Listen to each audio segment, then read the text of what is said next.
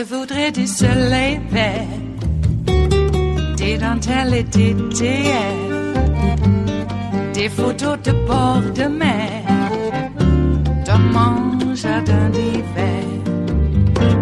Je voudrais de la lumière, comme en Nouvelle-Angleterre.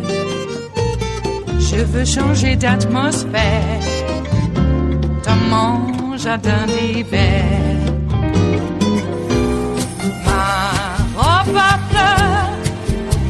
La pluie de novembre. Tes mains qui courent, je n'en peux plus de t'attendre. Les années passent, qu'il est loin, là je tombe. Nul ne peut nous entendre. Je voudrais du un latte Welcome to Weekend Update. I'm Michael Che. I'm Colin Jost. Judge Brett Kavanaugh and Dr. Christine Blasey Ford appeared Thursday in front of the Senate Judiciary Committee in a classic debate of she said, he yelled. Based on his testimony, I guess Kavanaugh thought the hearing was about whether he was cool in high school. We drank beer. I liked beer. Still like beer. I worked out with other guys at Tobin's house just to meet up and have some beers. Working out, lifting weights. We drank beer. We liked beer. I gotta say, you're not really helping yourself in a drunken assault case when you yell about how much you like drinking and how strong you were at the time. Pretty much the only ones who kept their composure at the hearing were the woman being questioned and the woman Republicans had to hire to talk to the woman being questioned. Now, on an optics level, I get why the Republicans did that, but if you're not the right person to ask questions at a Senate hearing, maybe you're not the right person to be a senator.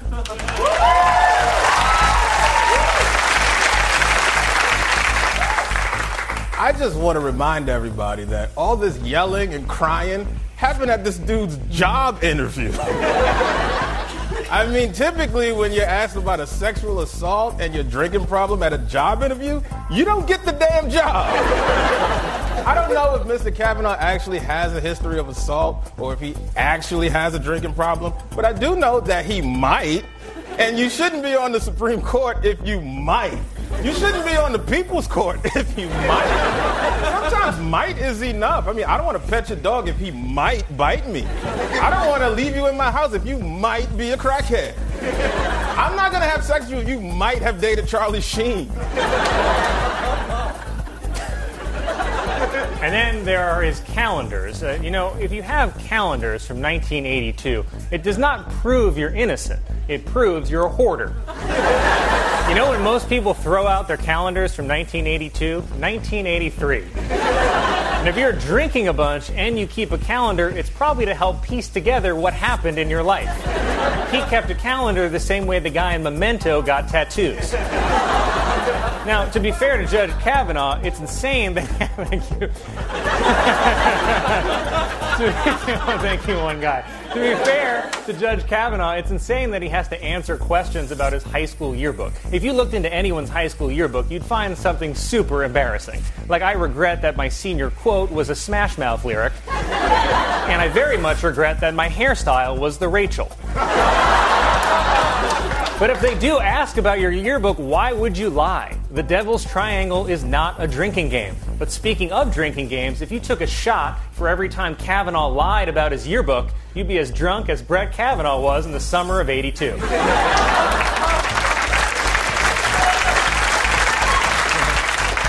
know, these hearings have taught me a lot about what happens at white prep schools, and I never thought I'd say this, but I'm sending my kids to a black school where it's safe.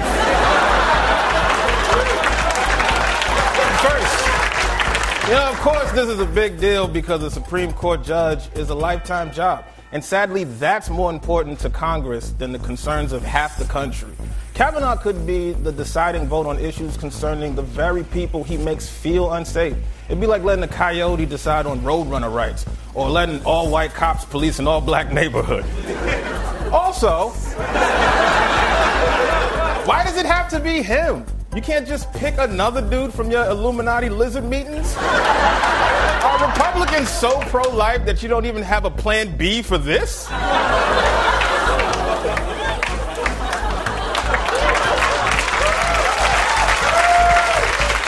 now, President Trump on Friday ordered the FBI to conduct a new investigation into Brett Kavanaugh. And Trump is so serious, he said the FBI should probably just drop everything else and only investigate this one thing.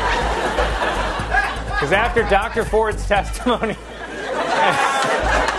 after Dr. Ford's testimony and this new FBI investigation, Kavanaugh basically has two strikes against him. Or as Kavanaugh thinks of it, Dos Equis. It is Tuesday, the 2nd of October of 2018, and you are in West Coast Cookbook and Speakeasy. I am your chef de cuisine, Justice Putnam, and our daily special is Tarrytown Chowder Tuesdays. That's right, folks. Leave the Old Bay in the cupboard. You've heard me mention it before.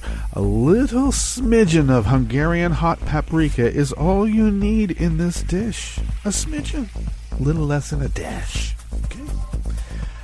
Though some people can take a dash of the Hungarian hot paprika, even the smoked kind, which is good. But leave the Old Bay in the uh, cupboard because uh, that's only good for the clam bake. Okay, I know people put in other things, but trust me, have it for the clam bake. Well, well, well.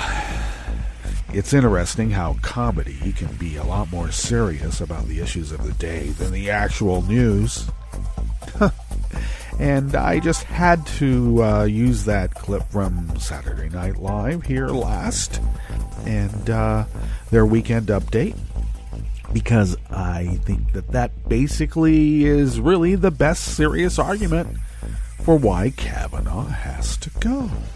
And uh, uh, there's more, it's not just women, more women coming out of the woodwork. It's everything coming out of the woodwork. And uh, now a lot of things are getting shaken out also just in the whole the whole scheme of what it is to be a member of the GOP. And I'm looking at you, Mitch McConnell. When the Nuremberg, Pennsylvania trials are happening, I I really think that uh, you're not just going to be questioned. I think you will be charged. Yeah, in uh, 2016, uh, CIA and a few other people came to Mitch McConnell with their hair on fire. Remember that from 9 11 way back? Came in with their hair on fire about Russians involving themselves in our political process. And Mitch McConnell shut it down because he looked to gain from Russian involvement in our political process. He being he and the political party that he is leading. What kind of person thinks like that? A hostile foreign power offers help in our political process to a political party, and the leader of that political party says, Yeah. And any investigations by our intelligence communities, our law enforcement communities, is put by the wayside, shut down. Sounds to me like that's an accomplice to, you, you can call it what you want. What's on the rest of the menu? I mean, there's so much news, but I had to curate a story for you today, and the story has a flow to it. Every day, every dish has has a theme, and we try to we try to give a flow. Yeah, that's true. A meal is like a story. It has a beginning, a middle, and an end.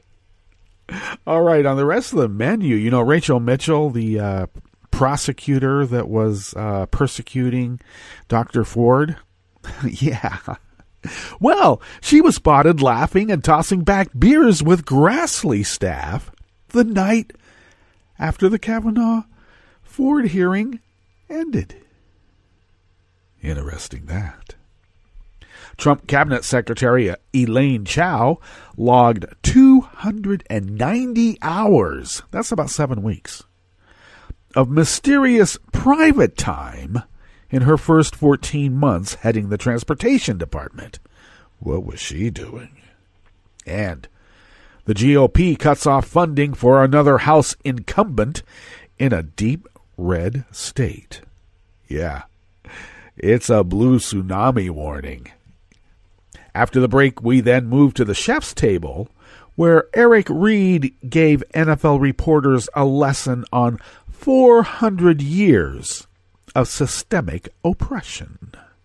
And weeks after a series of violent far right rallies rocked the city of Chemnitz, German authorities have uncovered a neo Nazi terrorist cell targeting foreigners and politicians. All that and more on West Coast Cookbook and Speakeasy. Bon appetit.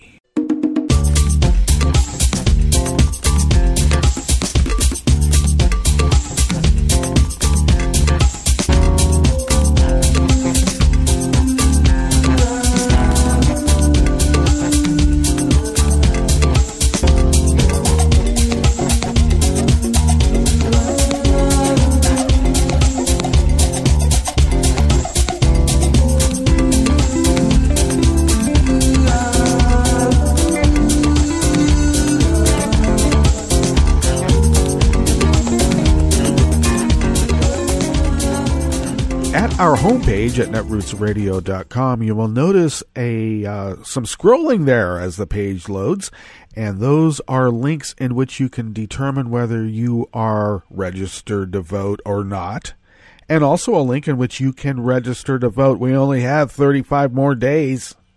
All right, so uh, get ready. All right, and please do make sure you register to vote. They will pull out all the stops, and, and, and they're doing it right now. So be careful and do vote. At the bottom of our homepage at netrootsradio.com, you will notice then the chat room link at the rightish of the page, monitored by Kelly Lincoln. Check out her shows on Saturday. At the Table with Kelly Lincoln begins at 3 p.m. on the West Coast. That would be 6 p.m. on the East Coast. And then later on, she teams up with Ricky for the Round Table Roundhouse Power Hour, and they command that hour beginning at 9 p.m. on the West Coast, midnight on the East Coast. And it's for an hour because it's a power hour. They pack it all in. To the leftish of the chat room link at the bottom of our homepage at netrootsradio.com is the contribute button, and that is deftly located uh, to entice you possibly to become a Patreon of Netroots Radio.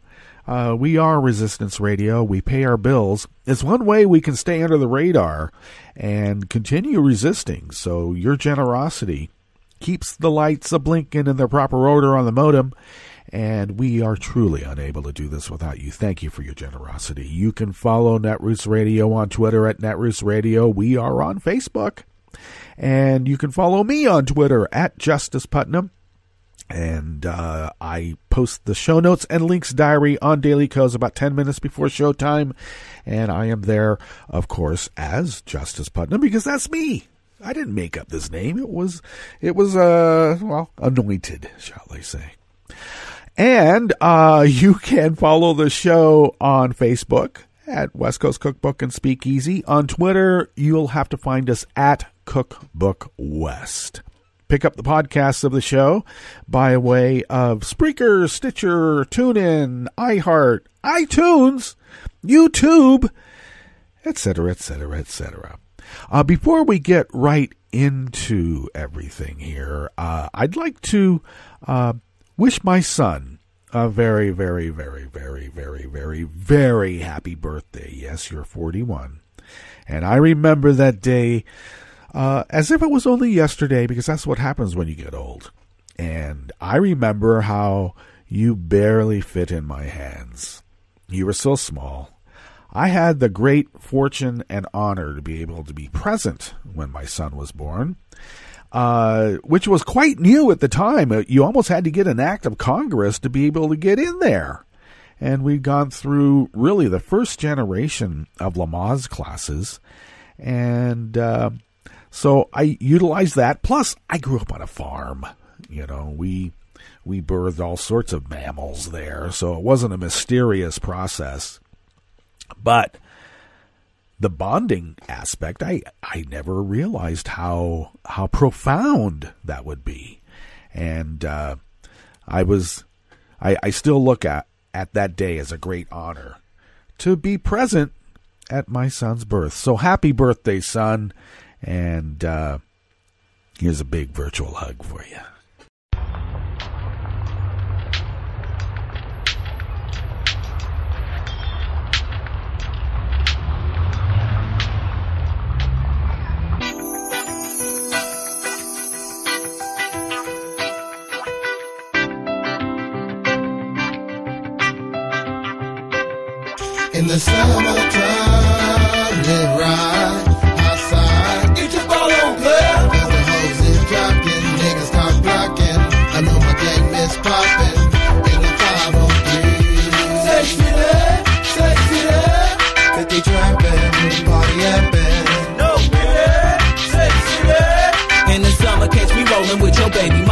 The Bahamas. Zigzagging figure eight, roller skating, limo tip. We play for keeps equivalent for divinely ordained with heat. Fire your break to the beat. Listen close, strap your seatbelt Take a sip of that drink. Where you headed to the barbecue? What you think? I'm half an hour late. Took her to work and hit the bank. A player was show and needed some dank.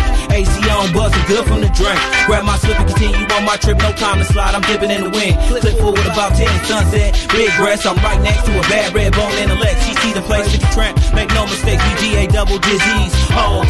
Busters can't see me through the weed fall. Red light, drop the limo tent. Pounding like a pimp. She honking and jogging on the first hit. Green, I hit the skirt. She jump out in front of a player. Blinker on. In the summertime, we zone. Pulling pros. In 503, Valley of area codes. Spitting venom at these hoes and all Italian In the summertime, live right outside. Get your ball on, player. Cause the hoes is jocking, niggas cock blocking.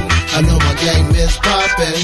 In the 503. Sexy there, sexy there.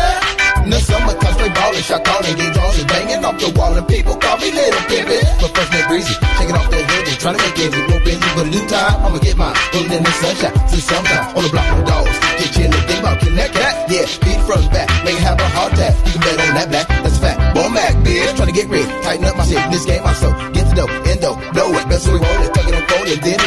Shit, get your dash on, busters trying to hit, get your bash on, trying to get my cash on. My nigga Marcus in the back with the mask on, can't help it, it's self-evident. My game is heavy, irrelevant, let it all. I'm trying to tell y'all, we 50 trap dogs, out causing mayhem, 503, where I'm from, trying to get some. Straight rap and sailor, what? Then we hit him up, a piece of pie before I die. I'ma ride the block, count chips as big as well scale. Have sit in air belt, won't make my head swell. Let a brother live well. Don't party in hotel, but hey there. They shaking their body, throwing it naughty at a dog, looking flossy.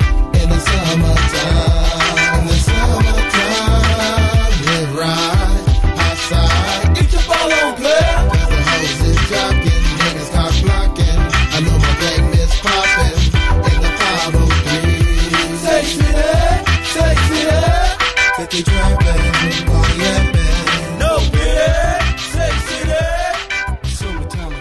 was uh, my son's group, 50 Tramp Dog. Uh, and that was a song called Summertime, which I have used a few snippets here and there to, uh, to uh, add some liveliness to the radio station for stingers and whatnot. And that's off of uh, a CD from a few years ago. So happy birthday, son. This uh, first article here is out of Raw Story and um, by uh, Bob Brigham. And it doesn't really have a good look. Uh, this report that Rachel Mitchell submitted, in which uh, she uh, specifies quite succinctly that uh, Dr. Ford is basically a witch who probably hypnotized herself into believing that she had been sexually abused by really a pillar of the community. And when I say pillar, I mean, yeah, a pillar. Oh my God. And uh, she didn't like the uh, answers that uh, Dr. Ford gave her. And of course, there is no mention of Kavanaugh in her report. And uh, so she said that, uh, you know, what she's got, she could not bring uh, rape charges against Kavanaugh. Well, that's not what that whole questioning was about. He was applying for a job. Well, uh, she knew what she was there for. A uh, DA who works or has worked in that office, who I believe was trained by her, said that, you know, the questions that she asked was exactly the questions that he was told not to ever use in a sexual abuse case. But tribal alliances, and I got to tell you, maybe a few bucks go a long way in determining what your morality and ethics are. Sex crimes prosecutor hired by the Senate Judiciary Committee to interrogate. I would say it was an inquisition. Dr. Christine Blasey Ford went out drinking with Republican operatives working for Senator Chuck Grassley on Friday. Maricopa County, Arizona prosecutor Rachel Mitchell was hired by Senate Republicans to question Ford who has accused Supreme Court nominee Brett Kavanaugh of sexual assault and attempted rape when she was a 15 year old high school student. Well, as if none of us know that, but there's a few that don't. Republicans ended Mitchell's role when she began to question Kavanaugh and began pointing out inconsistencies in his testimony. Yeah, specifically the July 1st entry in which they're going to a party, exactly like the one Dr. Ford uh, described. The day after the hearing, Mitchell was in good spirits while celebrating with Grassley's staff. She was laughing and tossing back beers with Grassley's staff at Union Pub on Friday. Bassett tweeted on Monday. She knows who she works for. And uh, after having drinks with Grassley's staff, Mitchell then sent Judiciary Republicans that five page memo, claiming a reasonable prosecutor would not pursue Ford's case.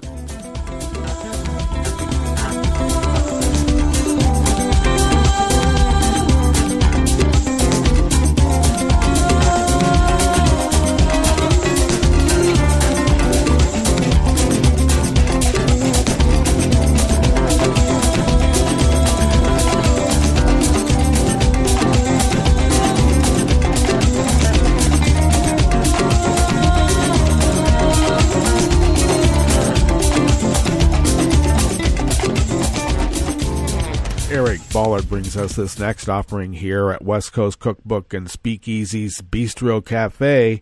Hey, our daily special is Tarrytown Chowder Tuesdays, just so you know. All right. Well, uh, Elaine Chao has taken the equivalent of seven weeks of vacation in what she called private meetings. Now, of course, we all know Elaine Chao. She's the transportation secretary. And we also know Elaine Chao as, I don't know, maybe she doesn't want to be known as this, but she could also be known as uh, Mrs. Mitch McConnell. Uh huh. Transportation secretary. Do you know that her family is one of the richest families in the world? They they are big uh, Chinese shipping magnates. So she would know about transportation because they transport and have been accused of transporting uh, illegal drugs and other nefarious products uh, quite often. Well, she's already put in nearly 300 hours of private time while serving as a cabinet member. The highly unusual practice raises all sorts of questions about how Chao is spending her time as a taxpayer paid public official. Well, she doesn't really need the salary, but she'll take it as long as they can take money from those people over there and put it in their pockets. In total, Chao clocked more than 290 hours of appointments labeled private, the equivalent of about seven weeks' vacation during her first 14 months in Trump's cabinet based on a review of documents provided under a Freedom of Information Act, and that's a report by Politico. There's a suspicion that Chao just isn't working that hard as she con- constantly flips up her Friday afternoon schedules with private time meetings. Either that, or Chao in her office are purposely trying to hide from the public what she's doing as Secretary of Transportation. I think private time might be on Fridays when she gets the facial before she and Mitch go out to all of the DC, uh, uh, you know, parties and stuff that they are, uh, well, expected to show up for. If Chao was regularly checking out early on Friday afternoons, she would be mirroring mirroring the light work schedule of her boss. Trump typically doesn't start his workday until 11 after he's taken advantage of 3 hours of executive time, which usually means watching Fox News. Chao's office insists the unknown private time blocks of time uh, listed on her day-to-day calendars are used to conceal Chao's travel plans for security reasons, or because they're, or because she's doing things like meeting with personal friends, going to the doctor, or having lunch with her husband. Senate Majority Leader Mitch McConnell. And that's a lot of lunches and friend meetups. Okay. Well, former Department of Transportation officials tell Politico the endless private events don't add up. It certainly appears that they have just tried to over redact meetings they would prefer the public not to know about. What is Elaine Chao hiding?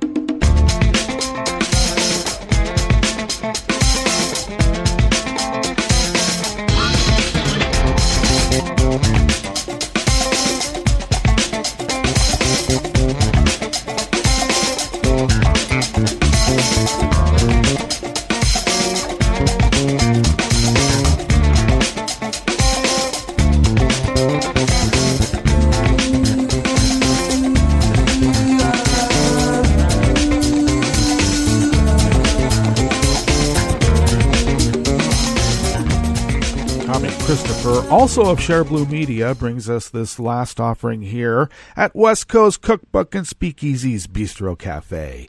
Looks like Republicans are abandoning their own House members ahead of the midterms, and uh, probably not a moment too soon. In the past few weeks, Republicans have cut off funding for several incumbent House members in tough races, effectively waving a white flag at the impending blue wave. It could be a tsunami. On Sunday, The Hill reported that National Republican Campaign Committee has canceled nearly a $1 million ad buy in support of Representative Kevin Yoder, Repug of Kansas, who won re-election in 2016 by double digits. Democratic challenger Sharice Davids currently leads Yoder in the polls, and the race is rated as a toss-up by the Cook Political Report. Meanwhile, Politico reported that the Congressional Leadership Fund, a GOP super PAC, has cut off support for two more incum- incumbents Michigan Representative Mike Bishop and Colorado Representative Mike Coffman. Wow, get rid of the mics. Uh, that's dropping the mic. Mic drop. The PAC has canceled over three million in planned ad buys between the two. And just days before that, they also canceled the remainder of its ads. Now, this is the NRCC of its ad for Representative Keith Rothfus, a repug of Pennsylvania, running against Representative Connor Lamb, who pulled off a stunning upset victory in a March special election. Because of gerrymandering, the two congressmen are now running against each other in the new 17th congressional district. All four of uh, the incumbents easily won their reelection in 2016, some by double digits, but are now locked in close contests with, with Democratic opponents. And there might be more bad news from embattled incumbents to come. There could be a much, there could be a bunch more. A former NRCC staffer told The Hill, "If you have a race that's just not winnable and you have limited resources, you can't spend just to make somebody feel better." Democrats have flipped dozens of red seats to blue in special elections since Trump was inaugurated, and overperforming even in races that they've lost. One recent forecast shows Democrats picking up 60 House seats in November. I would say don't get complacent. We need more. Okay? We need to work hard for even more. If that's the case, shifting funds away from a handful of races might not be enough for Republicans to save their majority. only if we keep working hard and not get complacent. All right, let's get to our break. And when we come back, we will go through weather from around the world and finish up with the stories that we have curated for you today. You are listening to West Coast Cookbook and Speakeasy, and we will be right back. You are listening to netrootsradio.com. Please hang up and try again.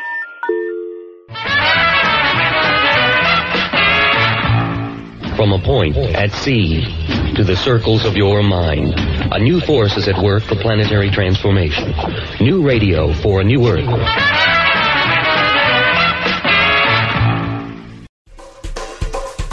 This is Scientific American's 60 Second Science. I'm Steve Mirsky.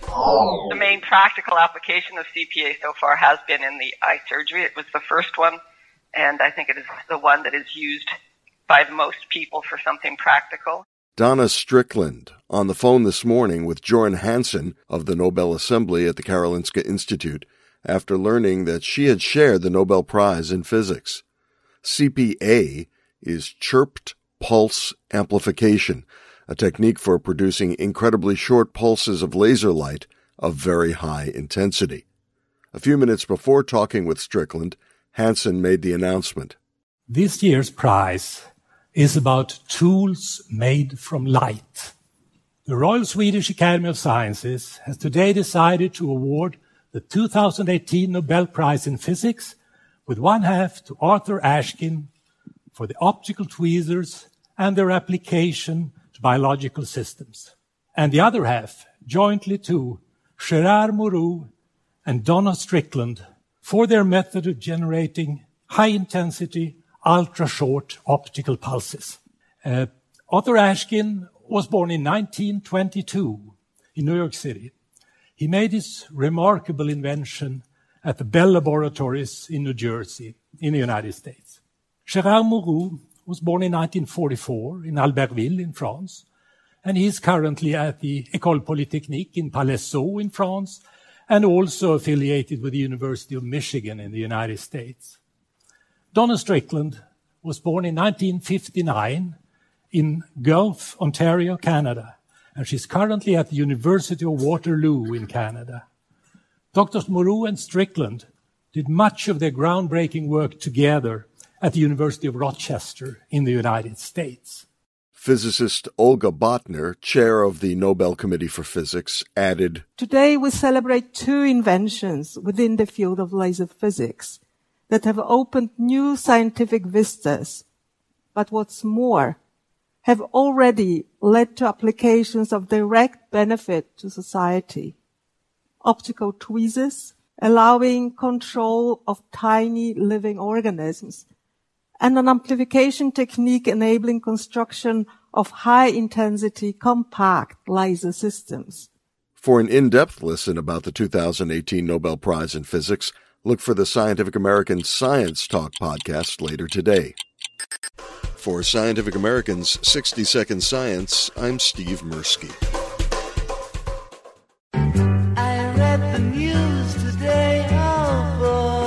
It's time for Nicole Sandler's What's News from NicoleSandler.com and the Progressive Voices Network. The White House on Monday authorized the FBI to interview any witnesses it deems necessary in its probe of the sexual misconduct allegations against Supreme Court nominee Brett Kavanaugh, loosening tight restrictions that had been imposed earlier.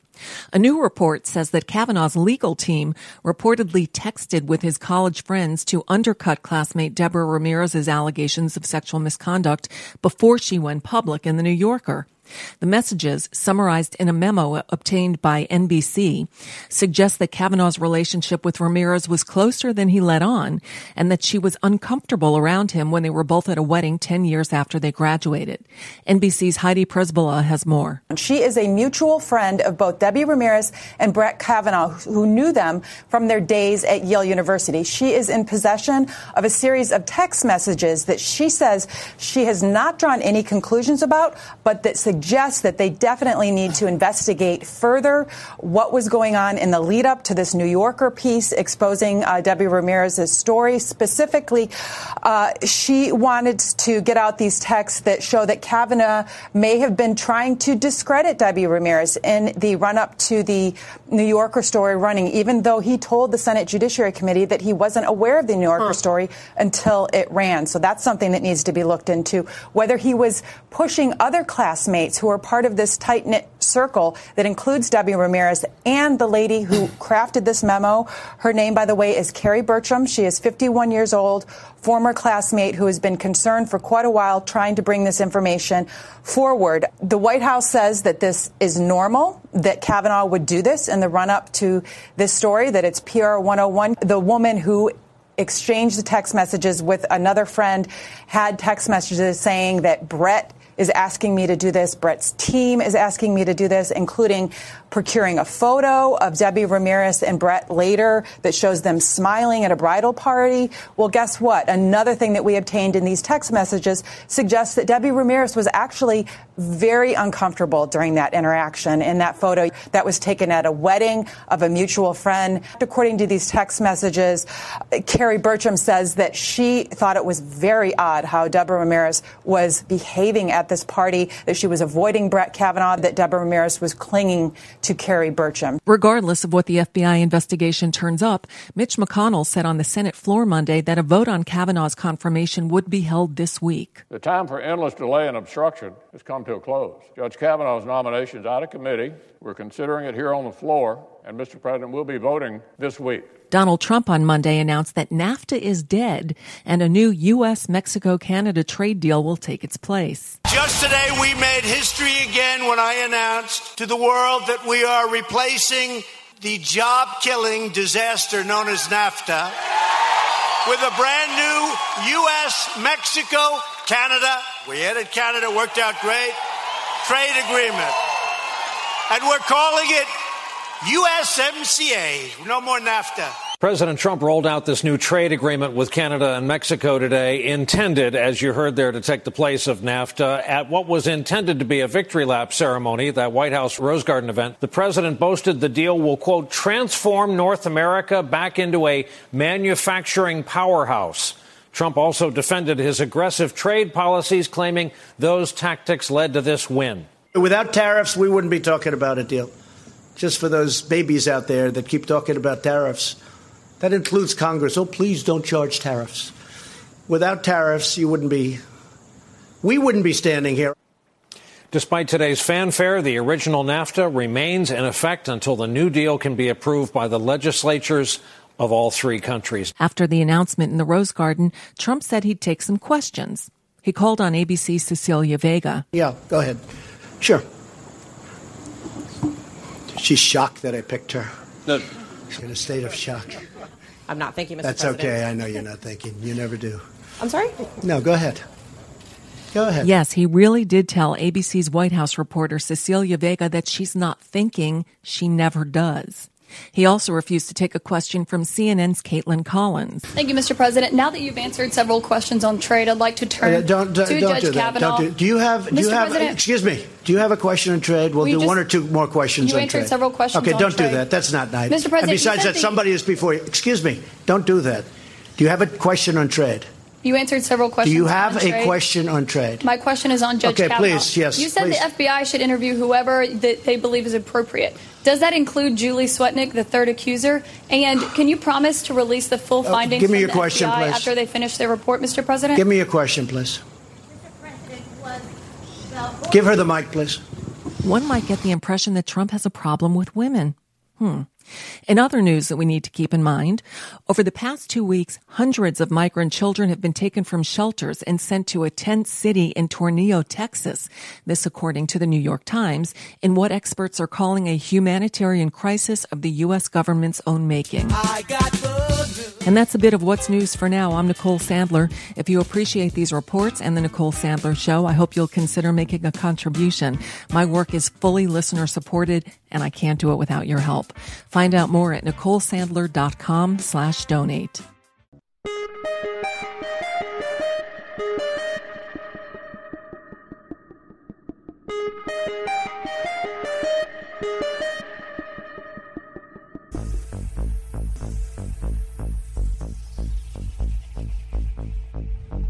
You can help stop the Trump agenda in its tracks. Make sure you're registered to vote. Go to rockthevote.org and on November 6th, vote for Democrats up and down the ticket. This message, a public service from all the fine people of netrootsradio.com.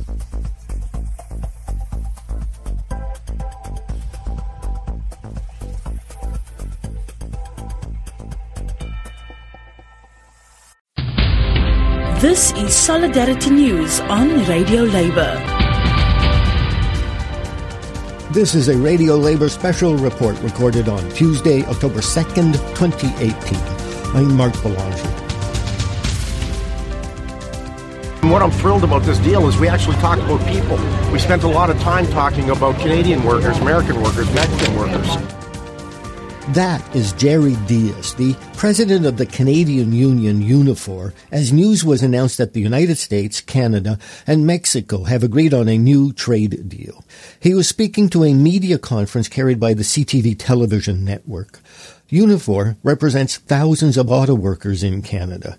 U.S. President Donald Trump was threatening to put a 25% tariff on Canadian produced cars. If approved by the three national legislatures, the deal will replace the North American Free Trade Agreement, NAFTA. The new deal is called the U.S. Mexico Canada Agreement, USMCA. Today is a great day for Canadians. Obviously, you're well aware that we came to an agreement with the United States on the renegotiations of a new NAFTA deal. The number one export industry in the country is the auto industry. And I am absolutely thrilled that we were able to A, put into place a format that will lead to investment in Canada, continued investment in Canada, but as important, getting rid of the absolute threat of the 25% tariff uh, that the Donald Trump administration has been threatening for quite a while. If you took a look at the overall deal, we really did meet the major objectives. And it was about solidifying the footprint, um, ensuring that uh, the jobs were not going to continue to bleed and go to, uh, to, to Mexico. If you take a look at what has transpired over the last 24 years, in the original NAFTA, we had a trade surplus in manufacturing. Today, we have a $120 billion deficit. Why? Because of the low wages in Mexico, the corrupt structure that they have in Mexico. But all of that has been fixed. But other huge victories today is the fact that Canada was able to wrestle back the clause that really talked about energy ratcheting, which gave the United States more access, frankly, to our oil reserves than we had, more control. So that issue has been resolved, which is such a major, major victory for Canadians. We were able to make sure that the dispute mechanism within the original NAFTA agreement is preserved so that we can have a fair adjudication process in our disputes with the United States. The whole cultural exemption is in place, which really prevented the United States from really taking control of the media sector here in Canada. So if I'm a worker today in the media sector, the auto sector, so many manufacturing sectors, I'm feeling a lot more comfortable today than I have over the last 24, 25 years because the government was absolutely able to reach consensus, to come to an agreement on things that were very, very important to Canadians. And what I'm thrilled about this deal is we actually talked about people. We spent a lot of time talking about Canadian workers, American workers, Mexican workers. The labor chapter goes a long way in alleviating so much of what's been wrong with the original NAFTA. So, am I comfortable? The answer is yes. Is it a perfect deal? The answer is no. But are we better off today than we have been over the last 24 years? I'll say emphatically the answer is yes the people of Canada were your union members, you would recommend uh, you would recommend I would recommend the approval of this deal. Absolutely, this is it's not perfect, and nor will I ever profess it to be. But have we come a long way? The answer is yes. Did we really plug a lot of the holes that have existed for 24 years? The answer is yes. We got rid of the ISDS clause, the investor. So that's gone. That in itself is a huge home run. Look, if I'm looking at this from a progressive point of view, there are huge victories. Number one, the whole ISDS clause, the investor clause that allows corporations to sue our government, is gone.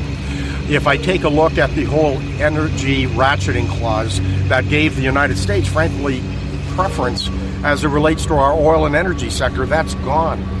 Um, if I take a look at the potential of the auto tariffs, that's gone.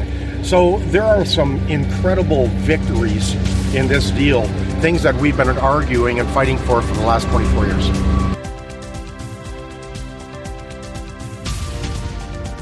And that's it. International labor news you can use. I'm Mark Boulanger. Thank you for listening. And remember, it's all about global solidarity.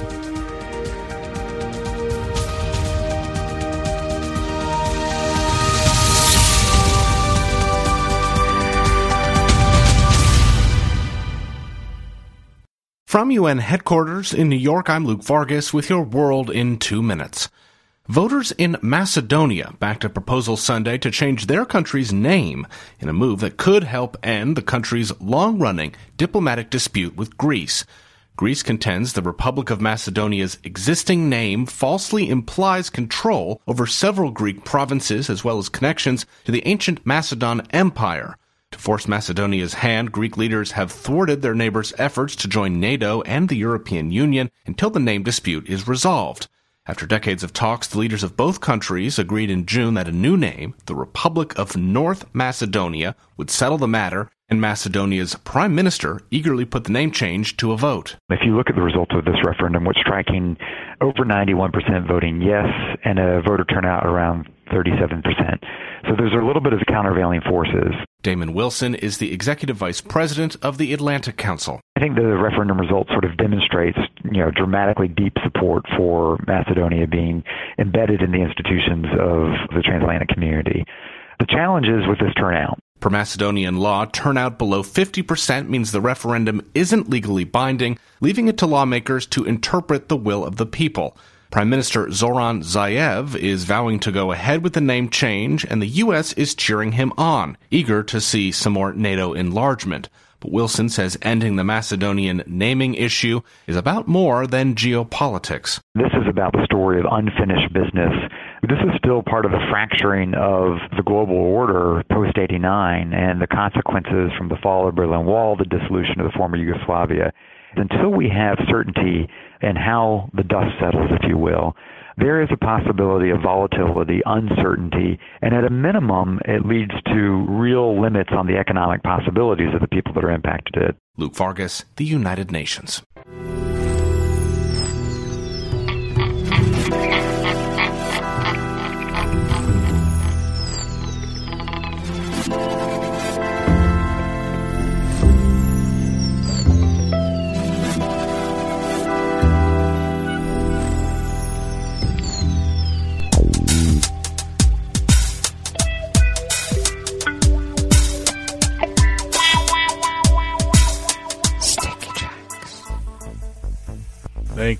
Accompanying us here to the chef's table at West Coast Cookbook and Speakeasy.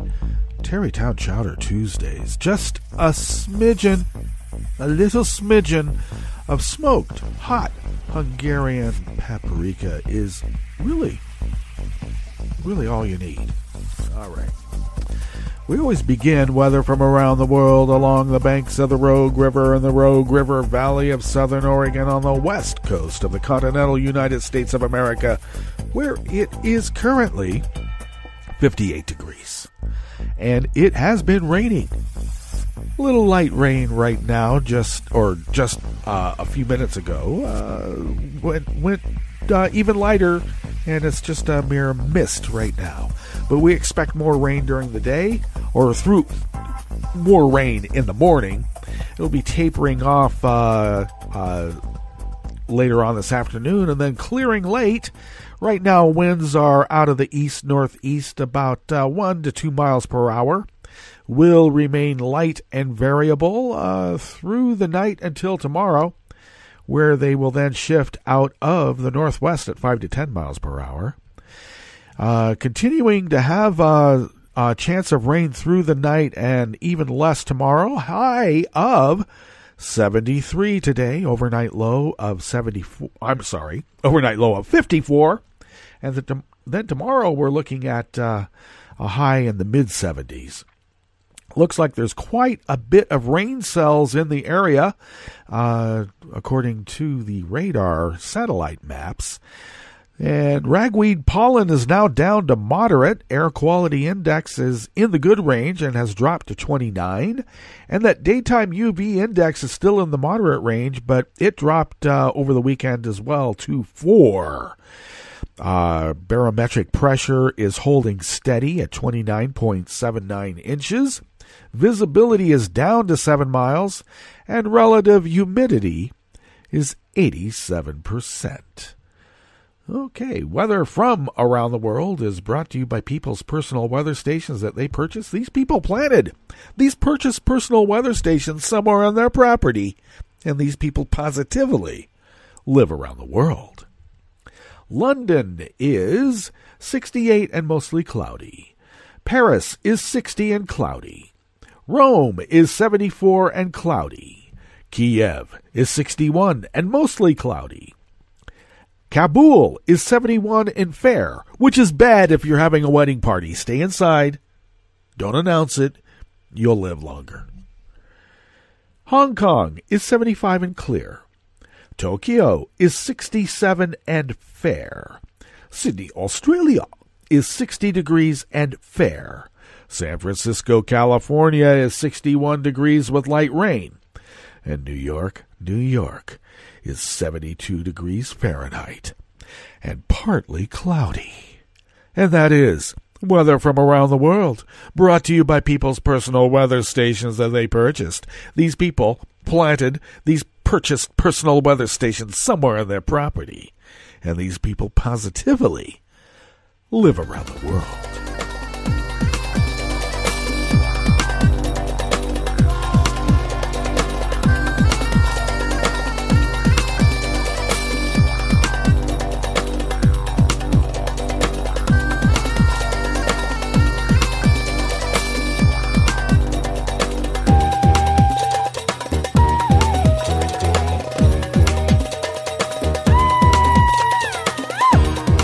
Gibbs brings us this first offering here at the chef's table at West Coast Cookbook and Speakeasy, Tarrytown Chowder Tuesdays. Last Thursday, a month into the NFL season, the Carolina Panthers signed free agent safety Eric Reid, a former Pro Bowler who gained notoriety when he became the first player to join his then teammate Colin Kaepernick and taking a knee during the national anthem to protest police brutality and systemic racism. I should interject. There was somewhat of an argument over the weekend uh, with my Trump bro, who uh, extolled the virtues of Tim Tebow as being the first person to ever take a knee at a football game, but he was doing it for our Lord Christ and not to uh, to uh, be traitors against our flag and the country. And I, I once again explained to him that it's not about uh, uh protesting the flag it is about drawing attention to systemic racism and police brutality. Of course, my Trump bro's been a cop and he doesn't believe that there's police brutality or systemic racism. I don't know. Did he come from the same family? I, I, I don't know. He is the baby in the in the family. And apparently we didn't teach him well enough when he was growing up. Too much time on his own with his friends. Reid signing was a significant move, and not just because the Panthers were desperate for talent in their defensive backfield after a rash of injuries. Reid has joined Kaepernick in a collusion lawsuit against the NFL, which alleges that NFL owners conspired to keep the two former San Francisco 49ers off the field because of their protest activities. Kaepernick should be playing for the Niners right now since they have a couple of hurt quarterbacks. At his first press conference in Charlotte on Monday, Reid made it clear that his time away from the field had neither muted his desire to fight injustice nor scared away nor scared him away from speaking his mind. And uh, but the most powerful part of the press conference came when a reporter asked him why he felt compelled to continue to be an outspoken critic of racism in America, despite the career consequences he believes he has faced as a result. Next year will be 2019, Reid said. It will mark 400 years since the first slaves touched the soil of this country. That's 400 years of systemic oppression That's slavery, Jim Crow, new Jim Crow, mass incarceration, you name it, the Great Depression. They come out with a New Deal, and black people didn't have access to those government stimulus packages. The New Deal set up what is known as the modern day middle class. We didn't have access to those programs. The GI Bill, Social Security, home loans, none of that. So this has been happening since my people have gotten here. And so I just felt the need to say something about it. How dare you? You're getting a paycheck. Yeah. Does being a, a, a worker mean that then you're just a wage slave? No, we're more than just wage slaves. We're Americans. Come on. In this report, reporter's opinion. Well, this is a powerful message to deliver to reporters in North and South Carolina, considering both states voted for Trump. And it's a statement that no Carolina Panther would have likely given a year ago. Jerry Richardson, the former owner of the Panthers, was notoriously conservative and controlling. But he was forced to sell the team last year after a Sports Illustrated report and subsequent NFL investigation revealed a disturbing history of sexism, harassment, and racism in the workplace. So I guess uh, public opinion can have an effect on the marketplace.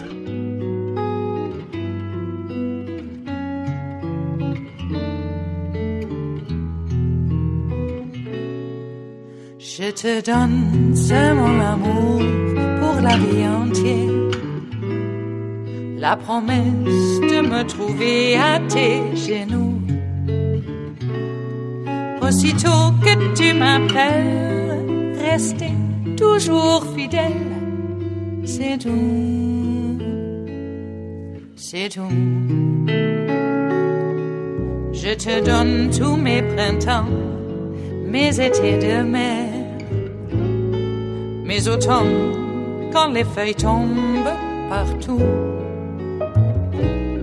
Si ce n'est pas une bonne affaire, je te donne Luke Barnes, also of Think Progress, brings us this last offering here at the chef's table at West Coast Cookbook and Speakeasy. Prosecutors in the eastern German city of Chemnitz say they have arrested six men on suspicion of plotting attacks against foreigners and politicians. And that announcement comes weeks after a series of violent far right rallies rocked the city. You know, the Germans don't really believe neo Nazis have a few fine people among their midst. And that they have, well, you know, uh, uh, a right uh, to to command the public square. In fact, there are laws that prevent them from doing exactly that. But this is worse. The men uh, are alleged to have formed a group called Revolution Chemnitz and uh, been part of the skinhead, hooligan, and neo Nazi scenes in and around the city. The suspects were planning to procure semi automatic weapons aimed to overthrow the rule of law and democracy. Because democracy is, you know, pluralistic, and you have a lot of those mud people involved. Like they can contr- ha- have like a choice in how we all live. More than 100 officers were involved in the arrests in Chemnitz, the state of Saxony, and Bavaria. Now, seventh member of the group was arrested earlier this month. Five of the men had previously carried out attacks on migrants earlier in September, including hitting a migrant over the head with a bottle. Chemnitz has been at the center of the far right violence in Germany since late August, when the death of a German man, allegedly at the hands of two migrants, sparked violent far right protests. Demonstrators uh, ha- were alleged to have attacked anyone in the city center who did not look German. While in other incident- incidents, police stood by while protesters performed the Nazi salute, which is illegal in Germany. And I should add, those cops who stood by were uh, punished. Perhaps more worryingly, the head of Germany's domestic intelligence agency was forced to step down in mid September after questioning the authenticity of some videos showing demonstrators hounding migrants. Hans Georg Maaßen, who headed the Federal Office for the Protection of the Constitution, was moved to the Interior Ministry.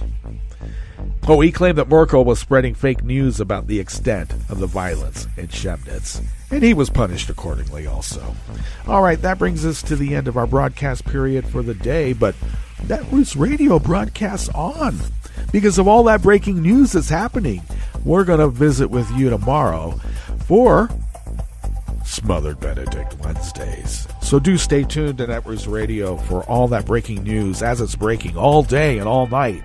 And we will meet up here tomorrow in West Coast Cookbook and Speakeasy.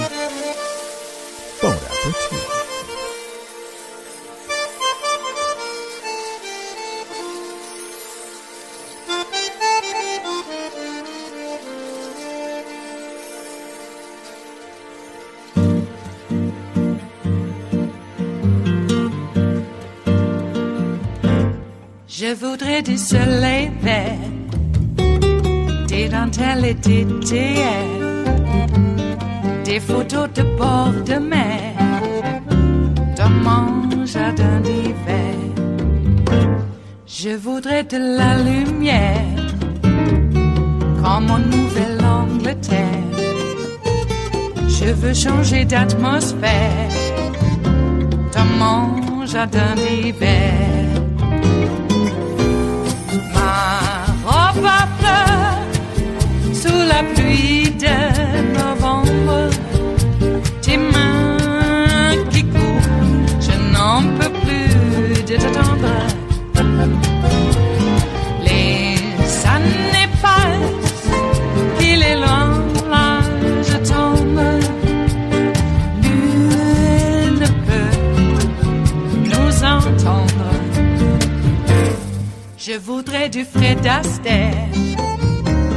Revoir un latte.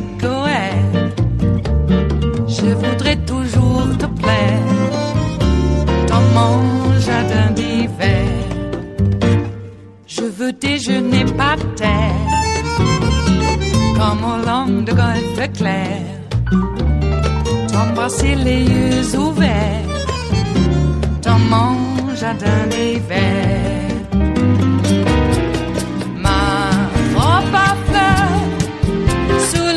8 novembre